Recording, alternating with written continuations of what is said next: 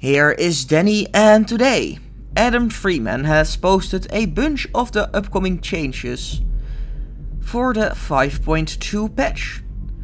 This is not a full list, but it does have a lot of changes. It has some good stuff and some really questionable stuff, but more about that at the end. Let's start off with the good news. RSP, aka Private Games, is now renamed to Community Games and it is DICE their intent to ship it with 5.2. We also got our first screenshot of it. The lunge mine should be coming after 5.2 because it isn't working exactly as DICE wants it to be, too inconsistent and such. But we do have some gameplay of it for now.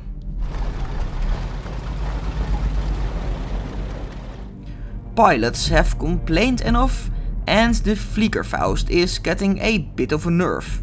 But on the other side, its range is increased from 300 meter to something else. Wouldn't it be crazy if the range is suddenly 900 meter? Wake Island is also coming and at the end of November there will be a more in-depth post about it. DICE is also adding passive spotting to the game. If an enemy is within 15 meters in your field of view, he will show up with a red marker. Keep in mind, this is not the same as 3D spotting via Q, or whatever it is on console. And it is only visible for you, not the rest of your team. This should help finding enemies that are blending in with the map. And of course it should not work through walls. And now for the really really really bad news that makes me think, DICE what the hell are you doing? So yeah, DICE are gonna ruin the time to kill again. It seems like they haven't learned from the time to kill 0.5 mistake, where a lot of people complained about. They're now gonna ruin it again, more than a year after launch. DICE be like, hey, let's ruin the time to kill once again the only thing that the community actually agrees about of what is actually good about the game. For example, the STG-44. Usually it takes 4 bullets to kill within 10 meters. Now it starts at 5 bullets to kill across 20 meters with the lowest point on 75 meter where you need 8 bullets. So that is 13 damage at the end. I'd rather shoot Lego blocks at the enemy, maybe they stand on it and die that way. Or the Thompson starts at 6 hits instead of 4.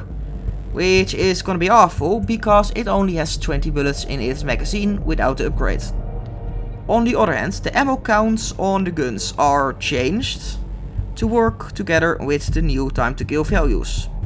I still rather wish attrition was fully gone however, but hey, DICE is also changing the angle of attack on tanks.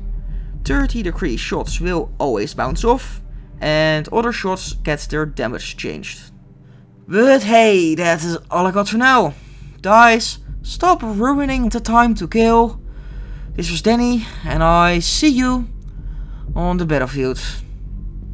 I'm, I'm, I'm seriously just baffled. Why does DICE have to keep ruining the few things that are actually good about Battlefield 5. Don't they want players to have fun? I don't know.